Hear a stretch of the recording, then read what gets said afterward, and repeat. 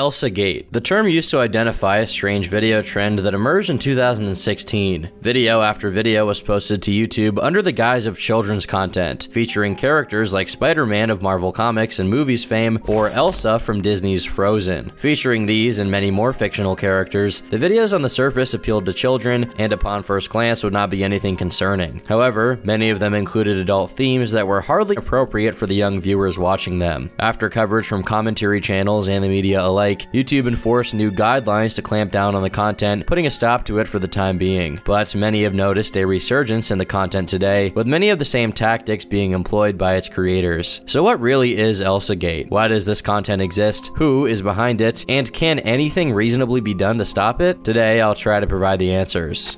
If you were on YouTube back in 2016, you probably remember how commentary channels eagerly searched for any bit of internet cringe to milk for content. That spring, they stumbled upon a new target, kids content. However, these weren't your typical children's videos. These were incredibly peculiar and unlike anything anyone had seen before. In the early days of YouTube, many videos unintentionally attracted a younger audience, even if they weren't specifically meant for children. Sketch comedy, animations, and let's plays were all extremely popular. However, these types of videos would naturally emerge as a hobby for their creators, and unexpectedly gain popularity rather than being cynical attempts to garner and profit off of a young fan base. But now it was 2016, the year of our Lord, and YouTube had changed since the late 2000s and early 2010s. It had evolved into a massive business rather than just some website to kill time on, and people recognized the potential to make money from it. One of the most lucrative new markets was YouTube Kids, which was launched just a year prior in 2015. It was a particularly tantalizing opportunity because there were very few established children's children's channels on the platform. At the inception of YouTube Kids, Ryan's toy reviews hadn't even come into existence yet. Aspiring content creators realized that by tailoring their content specifically to children rather than inadvertently appealing to them, they could tap into this market. Kids, especially toddlers, will watch almost anything as long as it's colorful and loud, and they'll often watch their favorite videos repeatedly. Advertisers also valued this niche. The content was clean, at least it was supposed to be, so no major brands would refuse to advertise on it. In fact, they would pay more to do so because because they knew that kids would easily fall to their marketing tactics. If the prospective creators could market their videos as having educational value, they could gain the approval of parents as well, who might otherwise limit their children's screen time and therefore their time watching videos. Those who saw this opportunity were primarily living in second and third world countries looking to make a quick buck, although this fact would only become known later on. But with that fact in mind, it makes sense that without an initial budget to hire talented voice actors and create compelling character art, they needed a cheap way to break into the market. Not only that, they needed a way to compete with major corporations like Disney and establish programs such as PBS, who already had intellectual property that children were familiar with. So, what better way to stand a chance than to essentially steal existing popular characters' identities and pretend to be them? A whole genre of cheap-looking live-action videos and animated content cropped up of superheroes and princesses acting out whatever plot lines the creators saw fit. These brand new channels would use these characters in their video titles and thumbnails with plenty of bright colors to at least come closer to the appeal of official programs. However, that's where the similarities between the content that started dominating YouTube Kids in 2016 and traditional television programming ended. Look at the fucking views, people. Here's one from one month ago 117 million views. Dude, what the fuck?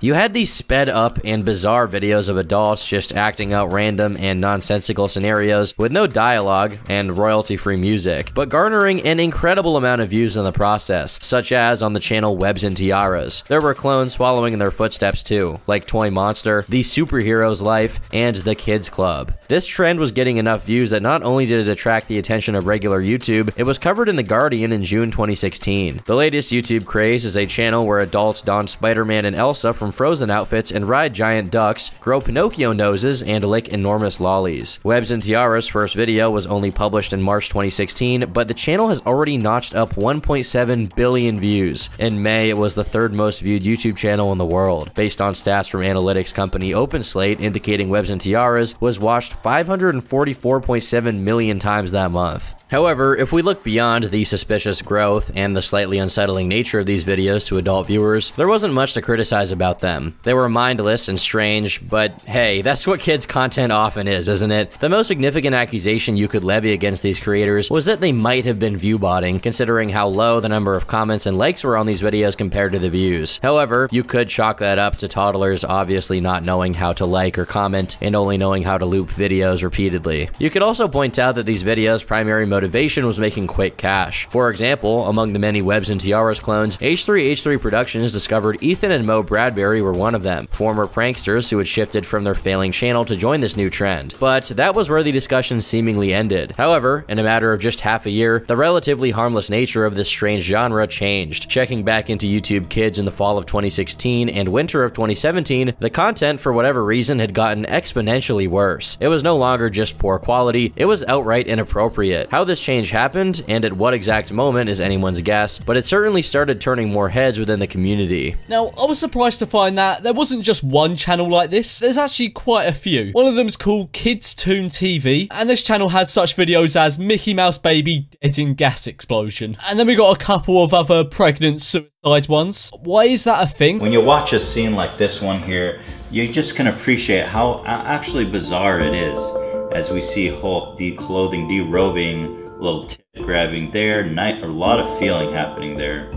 Like here, they're playing with each other's nipples, now he's getting naked. Guys, how is this not gay However, this disturbing content proved to be incredibly lucrative. The Bradberries, whose channel was previously struggling to crack a thousand views on each video, experienced a sudden surge in success. Teaming up with Kobe Person, another former prankster, they were racking up tens of millions of views each month and proudly displaying their brand new Bentleys in their videos. That's gotta be the strangest flex ever, showing off the luxury car you bought off traumatizing the next generation. It wasn't just limited to a couple of channels pushing the boundaries of what was acceptable though. Within a remarkably short span of time, time, an alarming number of content farms emerged, solely dedicated to churning out the most abhorrent and repulsive material imaginable. This Elsa and Spider-Man industrial complex made it so that, once you clicked on one of these videos, your entire recommended sidebar would be inundated with them, further amplifying the spread of this plague. Frozen Elsa and Joker in the bathroom, Elsa needs to pee, pregnant Spider-Girl toilet prank, and one where the title is in Arabic, but Spider-Man has Elsa tied up in the trunk of a car. There were even versions of these videos where they acted out some of the scenarios with real children. In this video, a little girl is kidnapped while she sleeps by a so-called cave monster that is clearly just a man in a mask.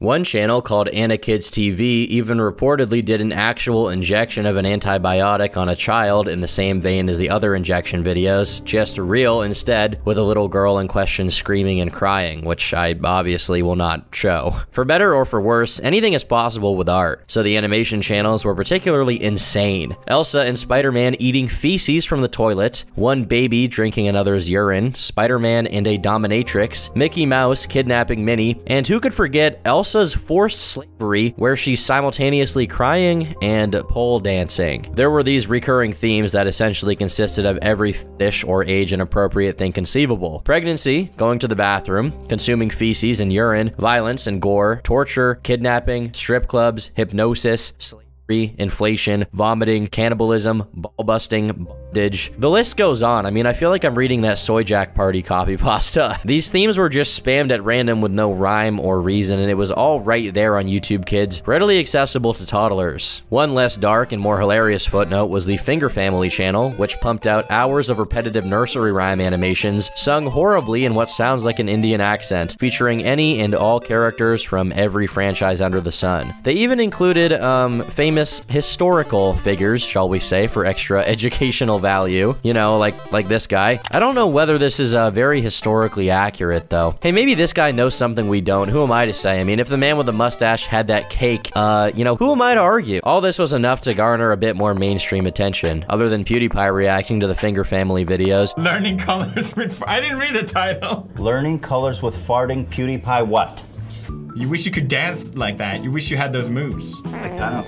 Oh, God! Green, toxic poop farts. You had the story being covered in The Verge and BBC. A pregnant Princess Elsa staggers up the stairs clutching her stomach. Disney's popular heroine pauses, and with a loud fart, poops out a stream of colored plastic balls that bounce down the stairwell. The video, posted to YouTube, has collected millions of views. And another video on the same channel, Joker gets into a serious makeout session with Rapunzel, which is odd, but less bizarre than the clip where Spider-Man impregnates the evil Queen Maleficent. The fourth most popular channel in the US in recent weeks, with over 100 million views, is dedicated to these homemade superhero soap operas. If you're not paying much attention, it might look like an ordinary video featuring Peppa Pig, the cheeky star of her own animated series. But soon after pressing play on this particular YouTube clip, the plot turns dark. A dentist with a huge syringe appears, Peppa's teeth get pulled out. Distressed crying can be heard on the soundtrack. Parent and journalist Laura June almost immediately noticed something was not quite right as her three-year-old daughter was watching it. Peppa does a lot of screaming and crying and the dentist is just a bit sadistic and it's just way, way off of what a three-year-old should watch. The content was bad enough at this point to where parents in Vietnam were complaining about one of the channels there, to which the channel responded by blocking Vietnamese viewers. However, its owner was later fined by Vietnamese authorities for the suggestive content. The Chinese government would also have to deal with the problem of these videos invading their country's media platforms and dispatch substantial resources to crack down on the Spider-Man and Elsa genre. All of this chaos and depravity ramped up going into the spring and summer of 2017, warranting a proper investigation and movement dedicated to getting to the bottom of it. The first attempt to coordinate and gather info took place on 4chan on the Paranormal board, which is where the first instance of the term Elsagate appears on the internet, on May 31st, 2017. This whole thing needs a name we can use to refer back to, to help in searches and as a point of reference. Maybe Elsagate or something. As anonymous users collected data and put together infographics, the investigation was spread to Twitter, where the Elsagate hashtag gained traction, and in June, the Elsagate subreddit was conceived, quickly garnering tens of thousands of members. The first bit of headway in the investigation was made by understanding that the videos were mostly foreign in origin. Russia, Vietnam, and India were all major exporters of this content, from the animations to the live action stuff. Another example emerged of pranksters going to the dark side of YouTube content creation. I mean, if pranks and social experiments aren't already dark enough. With the Viral Brothers, pranksters from the Czech Republic, one of which, Eric Meldick, started making children's content with his girlfriend on a channel called Superhero Fun Fun. Again, it showed people were hopping on this bandwagon just to make money. But still, no one knew why it was turning dark, other than the idea that the nursery rhyme videos, due to the sheer quantity and nonsensical nature of them, were being pumped out by some algorithm. There wasn't really an explanation for why the videos were turning out as bizarre as they were. Just because of how grotesque and morally appalling the content was, a lot of people tended towards the conspiracy angle. All of this might be an attempt by predators to familiarize children with sexuality and thereby making them comfortable with it, so that if an adult preys on them, they're more likely to go along with it. And while we'll circle around to this thought much later in the video, it just seems like way too decentralized of a thing for all the creators of this content to be pedophiles. The kids seeing the videos the world over are not even the ones they can prey on, unless this was some kind of long-term 4D chess ploy by a huge Illuminati-esque organization looking to normalize pedophilia in the long run, which in this case, I just don't see it. So is this all just clickbaiting children with horrifying things to exploit their morbid curiosity for money? Really? That's that's it? Well, yes, probably. If I was an individual or company with a strong knowledge of YouTube and ways to game it, how can I make the most money? Maybe I'm just smart, maybe I've developed a flawless keyword generator, maybe I've hired a large chunk of market researchers, maybe it's Maybelline. Either way, I have a surefire way to make money off YouTube, and I want to expand my market. I either A. Sell the information to studios and content creators, B. Sign on creators to be a part of my network, they get guaranteed clicks, I get a share of the profits, C. Create a tool that generates animations based on keywords, outsource the creative tasks to small animation and graphic design studios. Personally, I think this whole Elsagate thing is a combination of A, B, and C with different studios and curators involved. Why are the videos so screwed up? Most of the videos fall under the category of things kids often find mysterious, scary, or taboo, which if you look at more adult forms of mysterious, scary, or taboo content, you'll recognize that those things are exactly what people look for in clickbait content. In this case, it's wrapped up in a package catered towards children. Feces, urine, spiders, needles, sex, things that are normally considered bad when you're a kid. This feeling of watching something that you're not supposed to watch is probably quite stimulating for kids, so they keep watching and the creators keep creating. It's more interesting than what's on TV because it's different, even if the kid doesn't know why it's different. Why kids videos? Children are easy targets for manipulation and they're a cash cow for YouTube creators. They don't skip ads, which brings the creator a lot more revenue than skipping. They don't get bored of repetitive concepts. They can be easily hooked on almost any concept, and they just let YouTube play on auto autoplay continuously. This is the ideal situation for anyone with a strong knowledge of keywords and without a conscience. What's with the gibberish in the comments? Content on YouTube won't get recommendations unless it has high engagement on top of views and watch time. This is how YouTube detects whether or not a video's views are legitimate as opposed to acquired by bots. The kids bring in the views, but unfortunately they don't comment much. These gibberish comments are either bots or click farms designed to trick YouTube into thinking that this video is popular, engaging, and legitimate. Therefore, it should be recommended to viewers that are interested in the video like the one they just watched. Among the various theories, the least conspiratorial one suggested that individuals from second and third world countries without moral reservations were using taboo subjects as clickbait to generate easy money by luring children's curiosity. Although the content can be extremely repulsive, it has a captivating effect on young children, much like witnessing a fire or a car crash to an adult. Think back to when you yourself were a young child on the internet. There were probably instances where you clicked on scary or off-putting links, or videos you knew were inappropriate out of sheer curiosity.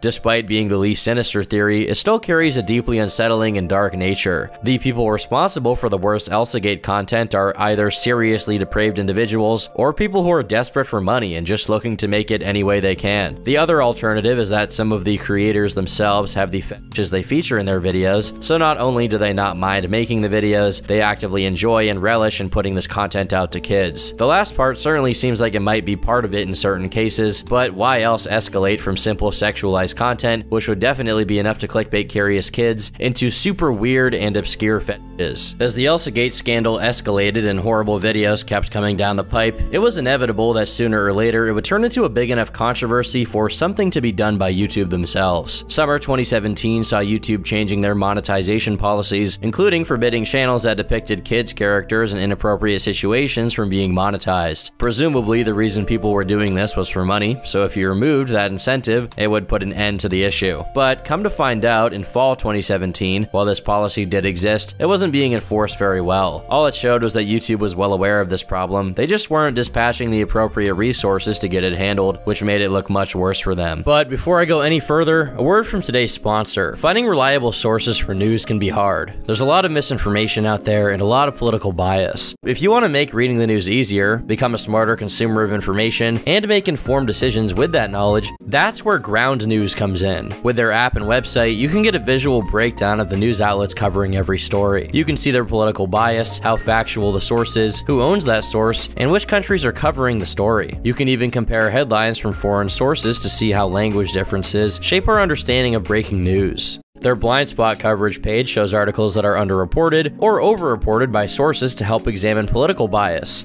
You can even follow specific topics like artificial intelligence and cryptocurrency to stay up to date and never miss a new development. Go to ground.news slash turkeytom to stay fully informed. You can sign up for free or subscribe through my link before July 1st for 30% off unlimited access if you support their mission. And once again, a big thanks to Ground News for sponsoring today's video.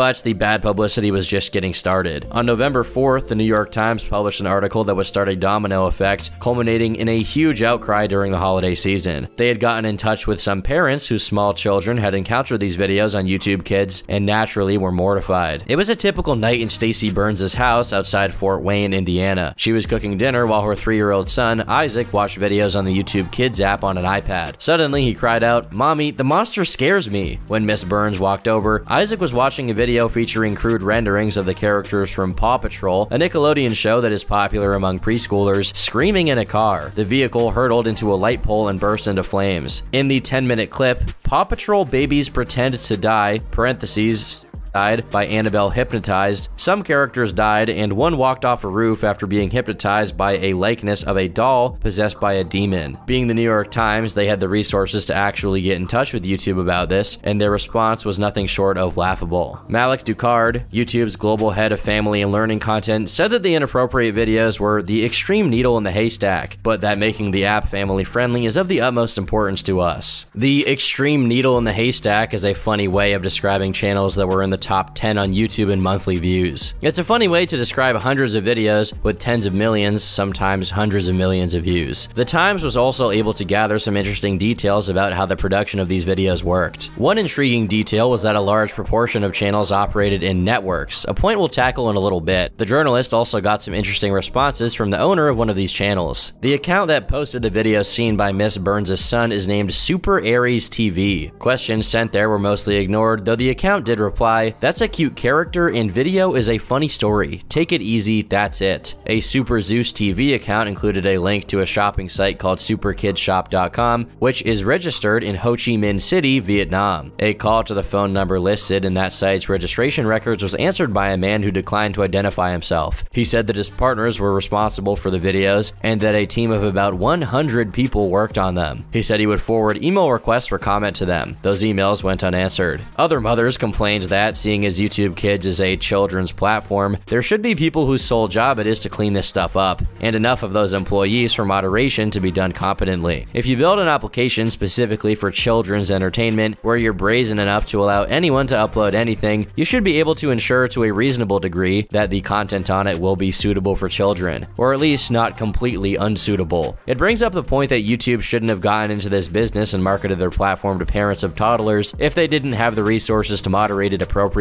As November progressed, more and more influential people started talking about Elsagate. We would see YouTubers like Mudahar from Some Ordinary Gamers and Philip DeFranco cover it. Where, uh, as you can see, the the officer is about to shoot the fucking baby Elsa with a with a Glock. God God bless today's fucking world, ladies and gentlemen. Holy shit. Baby gets sick. Daddy crying for his. I don't think Daddy's gonna cry. I think Daddy's about to beat the shit out of these two for breaking the iPad, or at least that's the vibe I'm getting from the studio. This is from Zin Zin Cartoon, titled Minions Banana Baby Drinks Piss Water. Funny story, full episode. Finger Family Song Nursery. Also, you'll notice a lot of the titles, the descriptions, the tags. It's kind of like this word soup. Once again, that's people taking advantage of the algorithm by using highly searched terms in their description. And there's a full disgusting rainbow of obscene and really inappropriate videos. There's a lot of tricking people into drinking pee, eating poop. You get stuff like Princess Rapunzel and Spider-Man buried alive, Venom poop, and you see a, what looks to be a bloodied Rapunzel with poop on her head. Dan Olson of Folding Ideas released a particularly insightful video at the time explaining the probable origin of the animation and CG segment of the market. Studios in India that used to pump out cheap nursery rhyme DVDs in the 90s, who had now made the jump to the internet using their same industrial process with new characters and edgier themes, the latter of which somehow got folded in along the way. Olson also pointed out that some of these channels were part of a larger conglomerate, and that, along with stuffing every keyword imaginable into their titles, they were exploiting the algorithm by pushing the same videos out on dozens of different channels, giving the illusion of content diversity. There are 58 channels attached to that MCN, almost all of them posting nearly identical content based off the same source library. Everything about it screams minimal human interaction. The strategy here is to cast a very wide net with the illusion of diversity. A single channel uploading dozens of videos per day will quickly trip YouTube's spam alarms, but a network of dozens of channels uploading one video each per day won't. YouTube's search algorithms and recommended videos try to give you content that's just like whatever you just watched, but they're also designed to force a bit of variety to prevent a single channel from totally dominating a given genre. The distributed spam technique works around this, meaning the algorithm can deliver diverse results from many different channels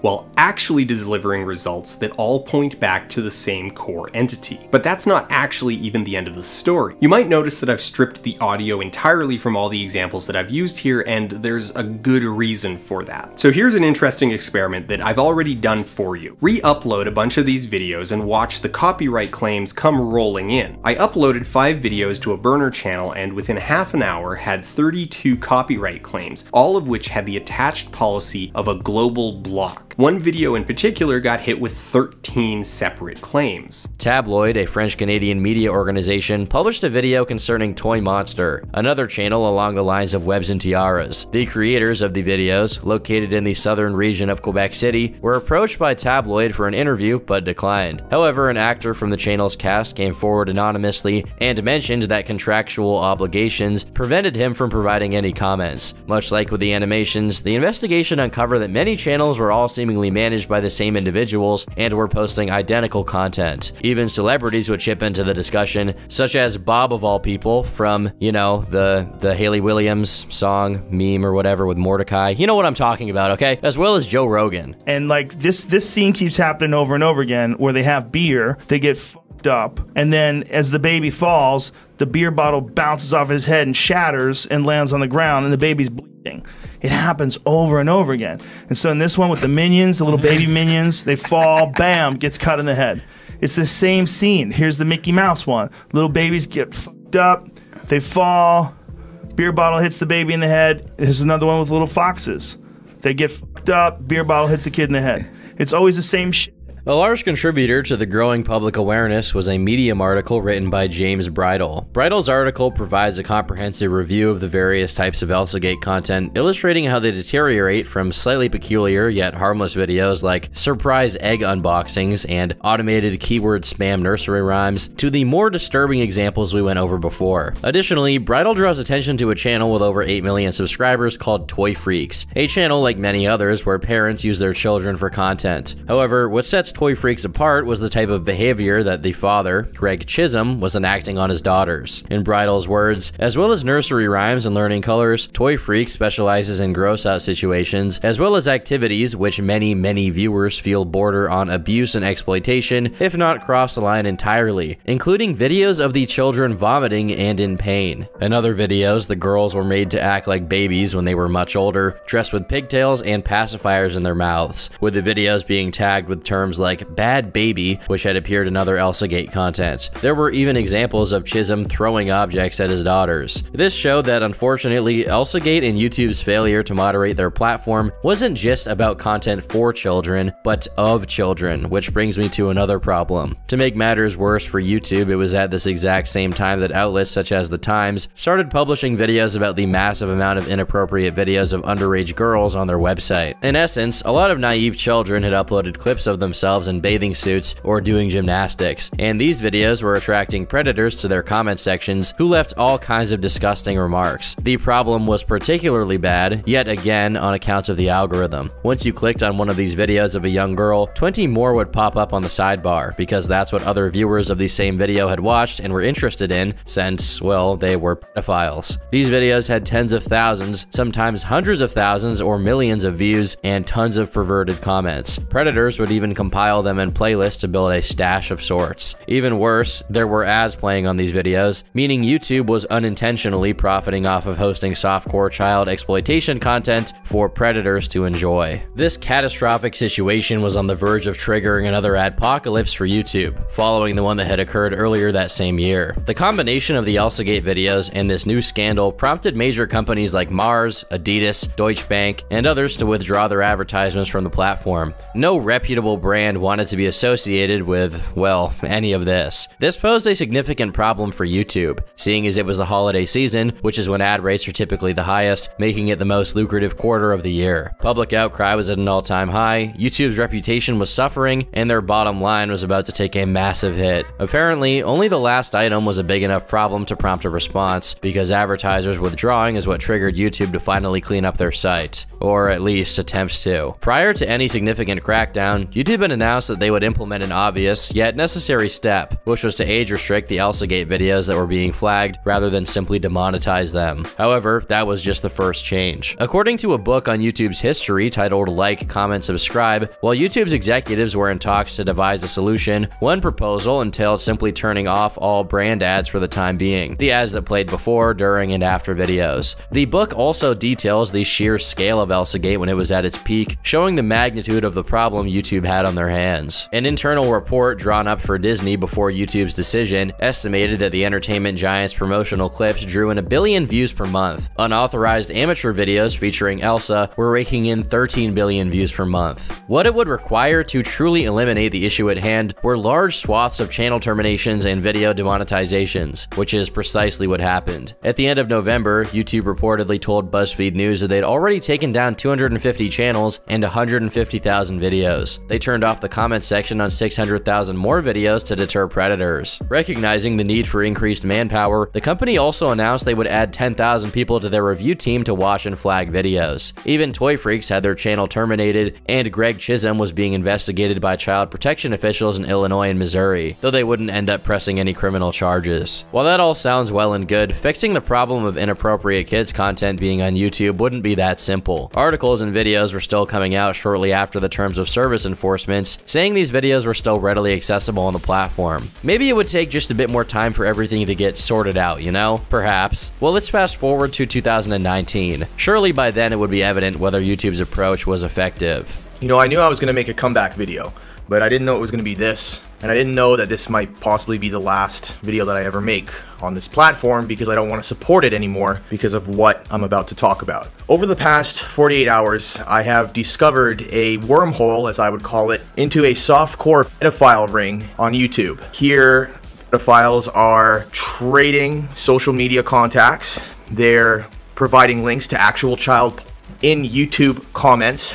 They're trading unlisted videos in secret and YouTube's algorithm, through some kind of glitch or error in its programming, is actually facilitating their ability to do this. The problem that was arguably the worst part of the original scandal had either come back with a vengeance or had never left. According to Wired.com, videos of children showing their exposed box, underwear, and are racking up millions of views on YouTube, with the site displaying advertising from major cosmetics and car brands alongside the content. Comments beneath scores of videos appear to show pedophiles sharing timestamps for parts of the videos where exposed can be seen, or when a child does the splits or lifts up their top. Some of the children in the videos, most of whom are girls, appear to be as young as 5. Many of the videos have hundreds of thousands, if not millions of views with hundreds of comments. Even search suggestions help funnel people down that path. Start typing girl yoga and the autocomplete options include young and hot. Enter twister girl and autocomplete suggests little girl twister and skirt. The Verge also covered the situation, drawing attention to the fact that this has been a problem on YouTube since 2013 2013, and still no satisfactory solution had been found. While YouTube claims that most of these videos now have comments turned off, that doesn't seem to be true in practice. Most of the videos The Verge came across had comments enabled, with 450 hours of content uploaded every minute and billions of users logging in every month, some videos are bound to slip through. Naturally, advertisers pulled out again. In response, YouTube swiftly made the decision to ban comments on videos of children altogether, which many said should have been done the first time this was discovered, but nonetheless Nonetheless, it was a step in the right direction. They also prevented kids' videos from being added to playlists to prevent predators from compiling them. However, a few months later, comments aside, the problem of the videos themselves gaining traction on the platform hadn't been resolved.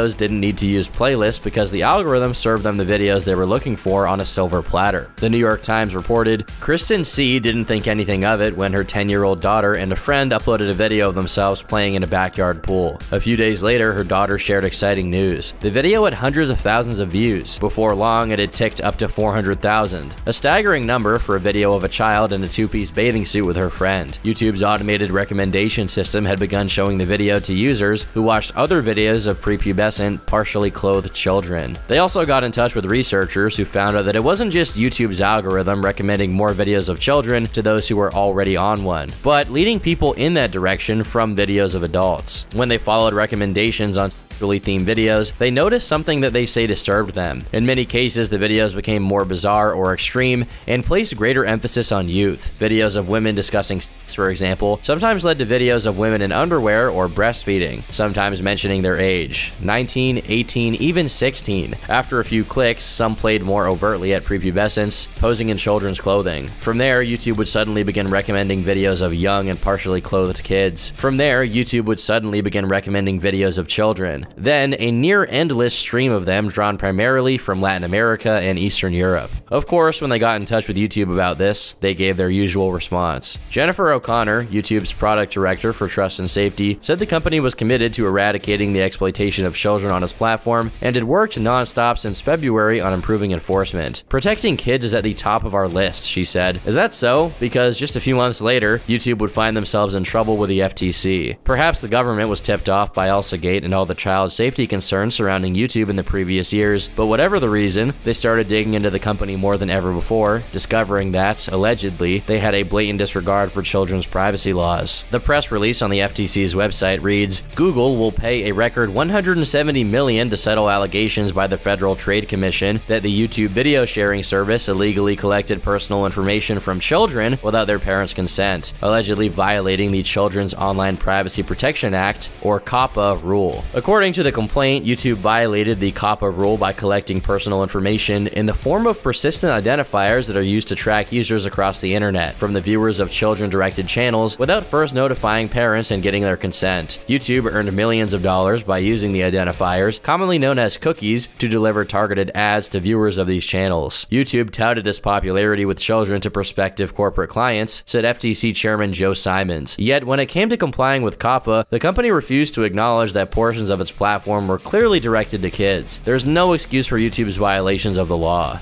With the need to imminently comply, and with COPPA looming over them, YouTube took swift action. However, the enforcement of their policy changes relied heavily on the automated systems, leading to unintended consequences, and non-kids channels were caught in the crossfire. And while that may be all for 2019, it's not nearly the end of the story. What happened to all the bizarre kids content, the central focus of this video? Well, luckily in the year 2023, Spider-Man and Elsa videos really are no more. But that's only because other characters have taken their place. Elsagate is back just in a different format. Videos featuring heavy emphasis on feet, farting, feces, and just general, like, outwardly sexual themes, like Minecraft characters, the girls having massive circles on their chests, or there being some videos featuring animals. We still have our very fair share of disturbing stop motions and disturbing animations that are bloody and weird.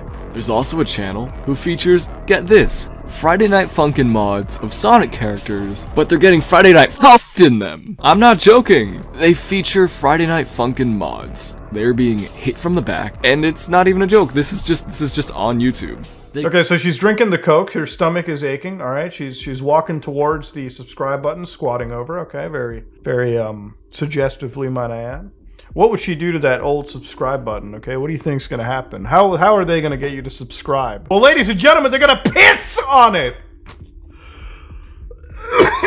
the quick rundown is that there's still disturbing children's content on YouTube encompassing the same exact tropes as before, albeit now thriving under different franchises. The crucial distinction is that it's no longer prevalent on YouTube Kids itself. I've checked, and although it is still possible to occasionally encounter inappropriate videos on the platform, it poses a legitimate challenge. Currently, Elsagate videos are more commonly found on regular YouTube, but due to the nature of the content and the low engagement in terms of comments and likes, it's likely that they're still reaching their target demographic of young kids. After all, who else would watch this garbage? Alternatively, the low engagement could be attributed to creators viewbotting. In either case, it's a serious problem as the new wave of Elsagate videos are amassing millions and sometimes tens of millions of views. These channels are monetized, and if you click on their videos, you'll see ads. They're making money off of this, which, I mean, is the most obvious motivation for anyone to subject themselves to producing this unexplainable slop. I cannot imagine someone doing this for free. However, the channels frequently get abandoned You'll often come across ones that uploaded for years straight and then stopped uploading altogether a few months or even weeks ago. This is likely because YouTube demonetizes them, and the creators then make new channels, suddenly dump a bunch of content on them, make money for as long as the channel is monetized, and then when YouTube realizes what they're up to and stops paying them, they move on to a new one. Because these videos typically don't have narration or audio, there's almost no way for AI to pick up on the inappropriate themes, so there's most likely a window for them to get away with the content and profit from it before a human picks up on what's going on, and then they have to switch to a new channel. As for who these channels are and what they're actually posting, well, you've been warned. We're about to get into some seriously disgusting and depraved territory. On the milder end of the spectrum, there's a channel called Hulu Wulu Animations. It boasts over 1 million subscribers and a staggering 600 million channel views. While it may not exhibit the most obvious red flags, one striking aspect is its peculiar fascination with violence.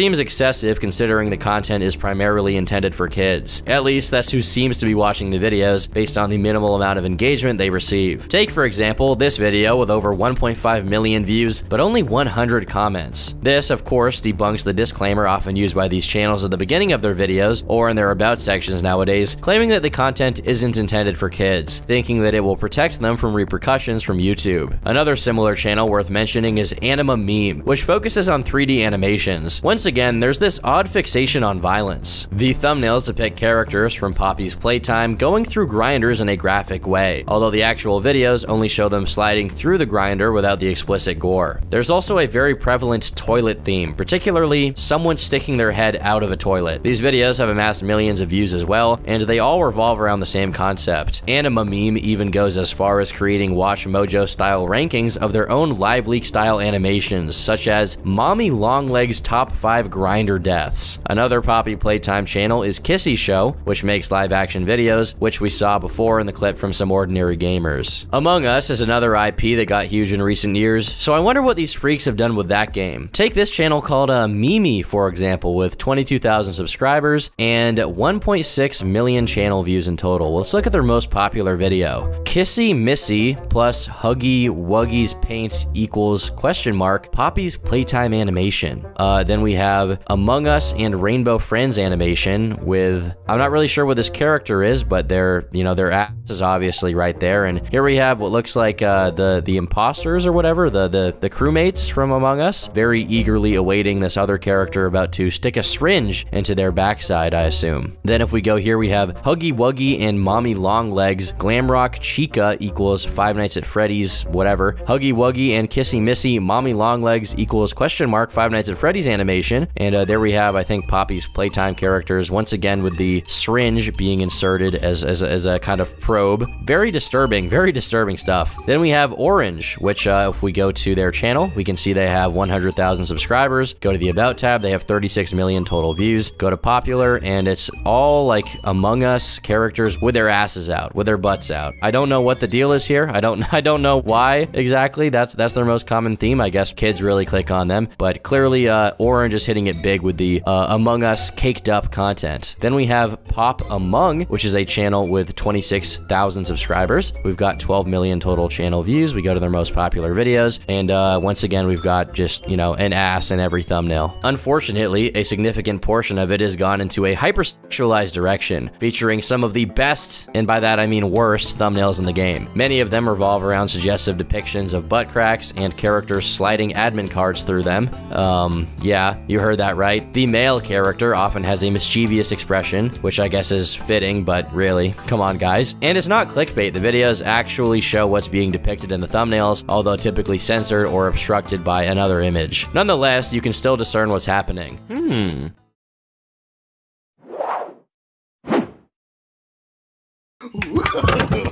no, no, no, no. And um, no, I did not add the "oh no no no" audio in post. That's the that's the original video. Not kidding. The channel specializing in this specific type of content fortunately have smaller followings. However, certain videos within their catalogs have still reached millions of views. If we return to the channel Mimi, which also incorporates characters from Poppy Playtime and Five Nights at Freddy's, in their thumbnails you'll find various scenarios reminiscent of Elsagate, suggestive situations, syringes being inserted, farting, all the hood classics. However, there seems to be a new trend emerging of characters getting stuck in fences and washing machines in compromising positions. This is a trope that's specific to adult content, so to see it show up in videos for kids in elementary and preschool is nothing short of extremely disturbing. That brings me to Minecraft animations, which are still flourishing to this day, but not in the same way you'd want. Check out Steve, You Gotta Help Me, I'm Stuck, with 12 million views and only 500 comments, by OMG Cartoons. There are hundreds, if not thousands of videos about the I'm Stuck trope. Another popular trope is biting twins, a supposedly funny gag where a girl bites a boy on the chest, they both laugh, and then the boy reciprocates, leading to a different reaction from the girl. Mr. Craft, for example, is a channel with millions of views that was exclusively dedicated to pumping out these videos with extremely inappropriate thumbnails that unfortunately, again, are not clickbait. I obviously can't show the content, but yeah, if you click on one of these videos, what you see in the thumbnail is exactly what you get in the video. If you look up Minecraft Love Story, you'll get a ton of similar stories stuff. Some channels, like XD James, have mostly innocuous videos where only the thumbnails were kind of pushing it. But then there's channels like Mark Craft, X Studio, and Hick Hick, where there's pregnant characters, characters giving birth, implied rape scenes, twerking, bondage. Wait, look, it's Spider-Man, and whatever the hell this is, all taking place in Minecraft. Used as shears to remove a girl's clothes in Minecraft. Trolling girls. I'm definitely seeing the lingering influence of prank YouTube in these videos to this day, what with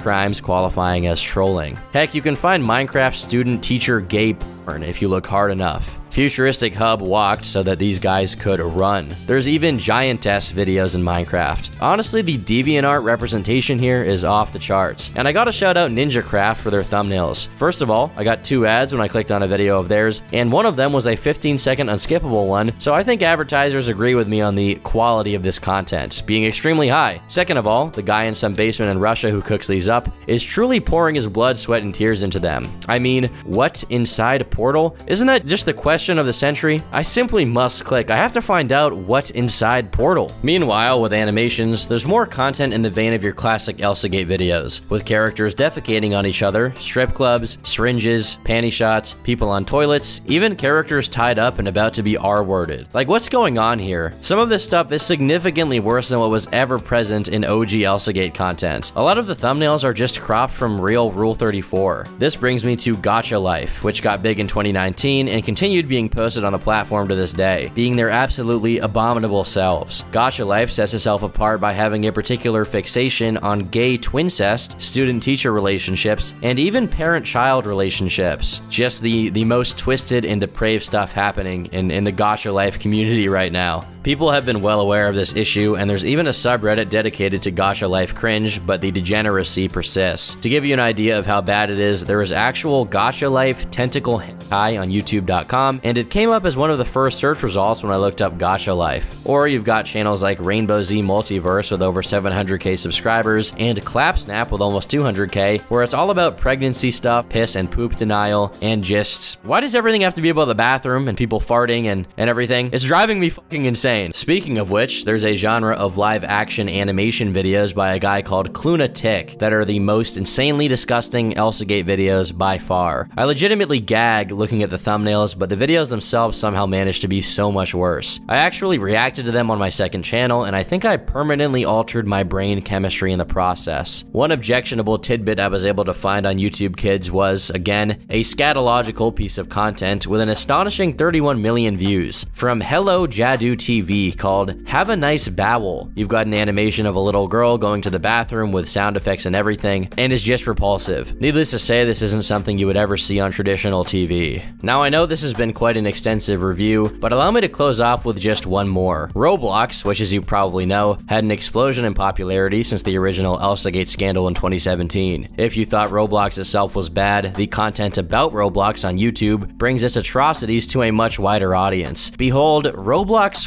Roleplay, 3.2 million views. But the crowning achievement of the YouTube Roblox community has to be kidnapping a kid, then farting on it. Yes, it's a female character sitting on top of a baby character, and I mean, you know, what happens. Now, even though the creators of this content may not be predators themselves, getting kids to be more comfortable with weird kinks may be one of its inadvertent effects, though this is based on anecdotal notes from the internet, so not the most reliable source. A post on the Elsagate subreddit asks, Did Elsagate actually have any permanent effects on the kids who watched it? I don't personally know anyone because I was out of the target demographic when it came out, but I've read other Ask.fm posts where people have said it got them into kinks. I've heard a lot of people claim that they watched Elsagate videos during their most popular years and have now either become hypersexual, desensitized to gore, or even have certain fetishes that were shown in the videos. Pregnancy, needles, etc. I mean, I watched a bit as a kid and now I have a weird kink and gore doesn't freak me out, but I'm fine. I have watched Elsagate and other disgusting stuff before, so it affected me very badly. I think it had harmful effects on me permanently. I found out these things got serious for me, so I got away from Elsagate and went to watch other peaceful things that aren't harmful or disgusting. Well, it's not Elsagate per se, but similar weird kids videos that I can confidently say did something to me. I sometimes fear this type of content made me have a weird obsession with one of the fetishes you mentioned. Not gonna say which though. I've become very obsessed with the topic, so much so I think it's become my most searched word on my iPad, but I'm not sure. Putting all the perversion aside for a minute, even when children's content on YouTube is actually age appropriate, it's still mostly brain rotting garbage without a semblance of educational value. There's no moral to the story, no rhyme or reason for what's happening. Any kid who's beyond a Coco Melon learning colors level of intellect has nothing of value left to glean from the original content made for them on this site. And that's somewhat of a tragedy unto itself. In 2020, a study was conducted by Common Sense Media in conjunction with CS Mott Children's Hospital, attempting to survey what kind of content exactly YouTube Kids was composed of. Consumerism was a major component of half of all the videos, whereas only 25% featured any kind of educational value. Studies have also shown that toddlers' screen time correlates with their likelihood of exhibiting symptoms of ADHD, and it isn't hard to imagine why that would be the case if you've ever watched YouTube shorts intended for kids. YouTube's moderation definitely needs some working on, from improved algorithms to better policies and increased staff. I just don't see how blatantly inappropriate content, with tens of millions of views, which most certainly has been reported by an adult at some point, doesn't get taken down. At the same time, we have to recognize these videos will always crop up on the site to some degree. Fundamentally, the only way to assure a child will never stumble into this content unsupervised is for their parents to be vigilant. Unfortunately, all too many parents are careless with giving their children technology. If YouTube can't keep these videos off their site and parents can't be bothered to keep an eye on what their kids are watching, then they honestly shouldn't be giving their children a tablet with YouTube, and would be better off sticking to, I don't know, TV. Or hey, ever heard about going outside? I've been Turkey Tom, thanks for watching, and until next time, Actually, there may not be a next time. It's becoming clear to me that I've chosen the wrong career path on YouTube, and frankly, I'd make far more AdSense if I was in the family friendly YouTube niche instead of the video essay, whatever this is. So, I will be imminently rebranding to Turkey Toddlers. Get ready to see me breaking the Geneva Conventions while dressed up as Huggy Wuggy with Kevin MacLeod tracks playing in the background. I hear that's all the rage these days.